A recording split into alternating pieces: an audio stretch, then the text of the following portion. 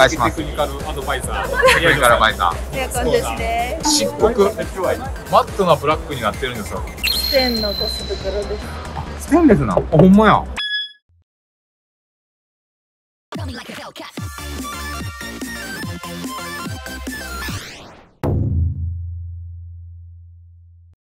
えー、ニックスさんのブースに遊びに来ました。ちょっと車とか撮ってきます。この最近のかっこいい車ですねそのあたりエアジョさんに紹介してもらいながら行きたいと思いますお願いしますお願いしますテクニカルアドバイザー。テクニカルアドバイザーエアコンですね。じゃあ端から行きましょうかはい。ここからでもいいですよこれは何ですか？これセッはターですかね。セッターです。コージュラです。なんか来年出るみたいなんですけど、あそうなんですか渋いですね。やっぱり。この電車かな。よく。そうです。これも販売予定なんですかねこれは販売予定じゃないと思います。あそうですかこっちはなんか出すって言ってましたけど。そうですね。こっちはなんか出せたらみたいな。ステッカーもこれ回しになんと釣りのやつですねそうですね。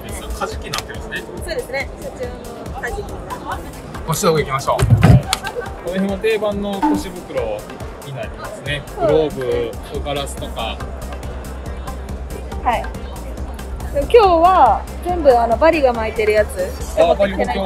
ほんまや。このバリが巻いてるやつっていうのははいはい。何が違うんですか、あのやっぱり腰道具なんで擦れるとこ、まあ、こことかは常につけてたら擦れると思うんですけど、あとそこと、そこもしゃがんだ時にやっぱ擦れるんで、この補強、まあ、バリスティックっていうのは擦れに強い素材なんで、やっぱりこういう工具が当たるようなところは、これしてると長持ちするっていう感じです。まあ、これ基本ベースでもいいかなと僕は思うぐらいですね。私もそう思いますね。うん。で、まあ、ガラスにもしてますよと。ガラスのバリスティック補強が多分一番高価なアイテムになると思う。んですニックスの中で。そうですねうんあと帽子とかも、これも出るんですかね、この辺。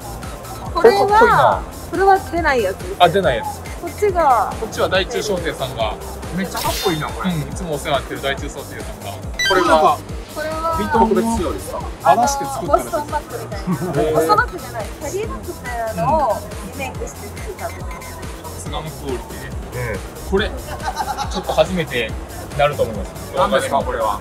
このし、わかります？色味が違うと思うんですけど、漆黒、マットなブラックになってるんですよ。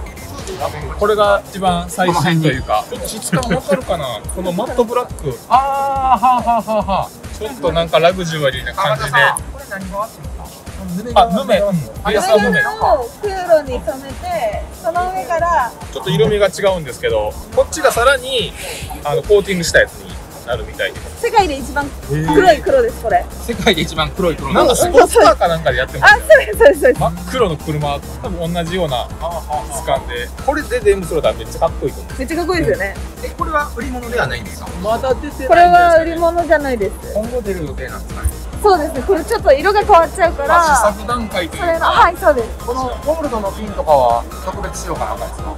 そうかもしれないですね、この。この金じゃないねこのリベットもうん。リベットベースとあこれもなんかやってるんですねあ、本当だ。加工ねそうですね。ね普通はないですよねこれ多分世界に今1個しかないんちゃう？そうですねちょっと僕が触ってたらクレーム来るかもしらんけどがっつり触らせてもらいました糸も入ったりして、おしゃれな感じなんです。それすごいっすよね。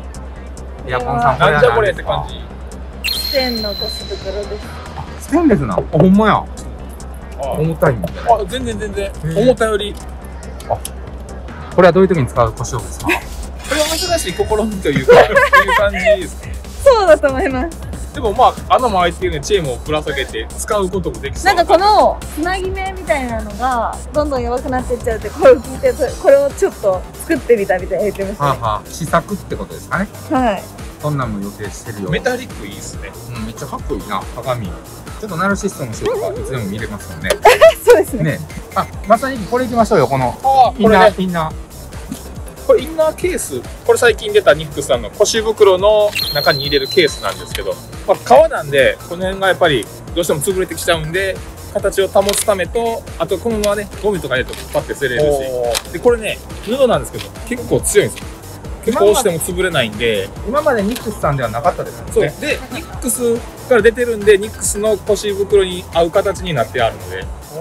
これはまあ小さい方なんですけどこの大きい方もあります。しかもこれってその辺にかけれるってことですかね。こう。そうそう。これだけ取って。ショルダーにかけて。ショルダーっていうのはこれ。あこういう紐みたいなのをかけて。ああ仕上げ工事とかで、そうですうんね、こういうのちょっとやってもらっていいですか？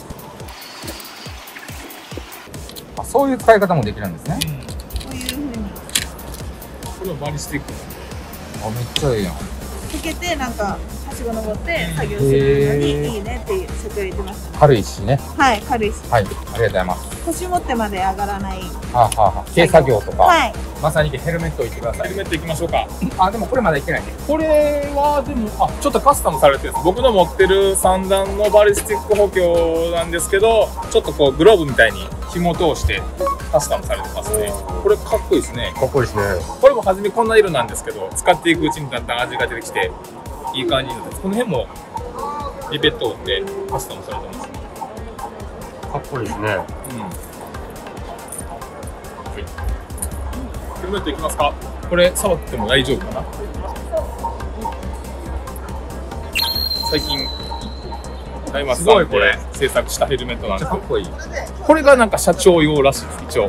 青色が。めっちゃかっこいいですよめちゃね。めちゃかっこいい。紫と青になるんかな？すごい。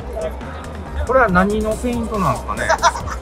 これはバイクとかのほうほリングっていうんですかねそういうのをそういう技術を持ってる方がこれ印刷なんです。うだからあのそうシールじゃないんでボコボコしてないんです。あ僕もヘルメット作ってもらったんですけどーはははそれと同じような感じで。この辺も色がグラデーションされてますね。そうですね。久しすごい色になってるですねこれ。でバイクの？バイクとかの技術模様とかをつけてる人の技術あこれはちょっと使ってデザリングという北海か道の方がへー。ダディさんっていう方が使用感をあえて初めから出すと。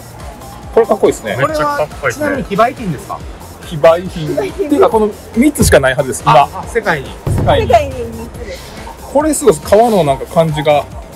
あすげえ。でも印刷で。あがボコボコしてないっていう。あ革に見えますね。うん。という感じで。はい。できたばっかりです。ちょっと前に。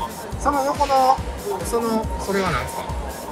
これはねまあまあこの僕らだとスリッパーとか入れたりここになんか刺したりとかカッシーが持ってますよねこれ、あちょっと小物入れたりするので。はいはい。これもバリ巻きですね。へえ強いってことですか？かどうしても擦れてくるんで使ってると。でバリ巻いてるとかっこいいですよね。っこいいですうね、ん。無骨な感じが出て。ミックスで書いてるのと書いてないのは何が違うんですか？おおほんまっすね。これこっちがでもスーパーアドバイザー。基本的にどっちが基本なんかな？わからない。